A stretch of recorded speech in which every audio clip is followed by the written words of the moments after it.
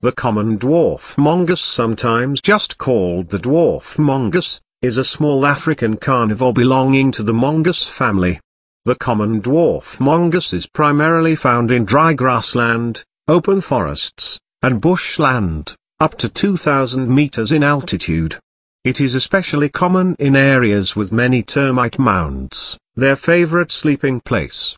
The species avoids dense forests and deserts.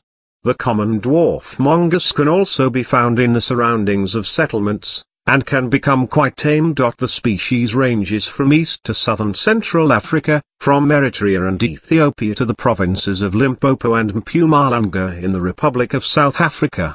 The common dwarf mongoose is a diurnal animal. It is a highly social species that lives in extended family groups of 2 to 30 animals. There is a strict hierarchy among same-sexed animals within a group, headed by the dominant bear, normally the oldest group members.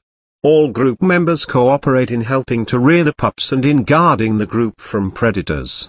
Young mongooses attain sexual maturity by one year of age but delay dispersal, with males usually emigrating, in the company of their brothers, at two to three years old.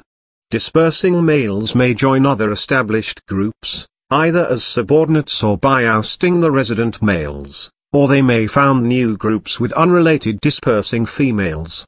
In contrast, females normally remain in their home group for life, queuing for the dominant position.